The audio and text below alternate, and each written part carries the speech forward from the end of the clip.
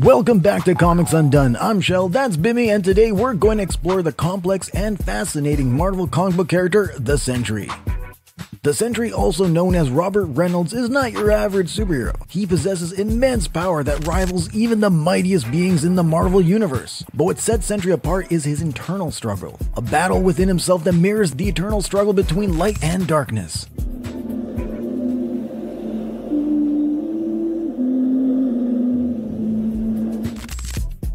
The Sentry's powers are awe-inspiring to say the least. With the power of a million exploding suns coursing through his veins, he possesses superhuman strength, speed, and durability. But what truly sets him apart is his control over the power of light, a power that allows him to manipulate energy, project force fields, and even fly. It's as if he's the living embodiment of a celestial. He's demonstrated powers that have rivaled god-tier Marvel characters. But we need to note that he has equal potential to be Earth's savior and destroyer.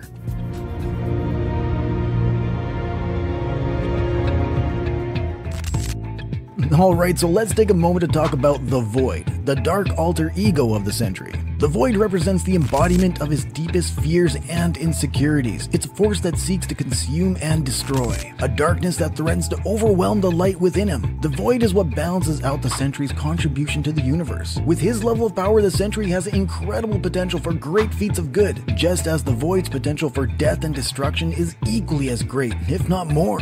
All the doctors say that we're the same person, just personalities.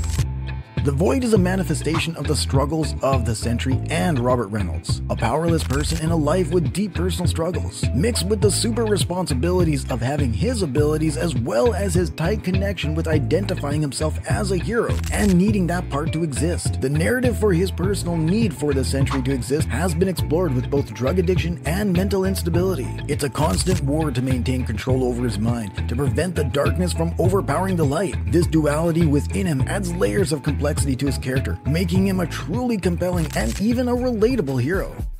It's super fascinating how his internal struggles with self doubt, anxiety, and the fear of losing control are themes that resonate with many readers. It's a reminder that even the most powerful heroes have their own demons to face. But amidst the internal battles, the Sentry remains a true hero at heart. He fights for justice and protects the innocent, even in the face of overwhelming odds. His bravery and selflessness inspired those around him and make him a beacon of hope for the whole Marvel Universe. The Sentry story is a testament to the power of overcoming one's inner demons and and finding the strength to be a force of good. It's a reminder that even in our darkest moments, there's always a glimmer of light that can guide us towards redemption. The story also offers another layer of complexity with confronting Robert's need for the Sentry to exist, even while fully knowing that then the Void has to exist in tandem. The Sentry and the Void provide us with an interesting avenue to explore not just the Earth's need for a hero in Sentry, but Robert's need to be a fully and wholly acceptable person without the Sentry.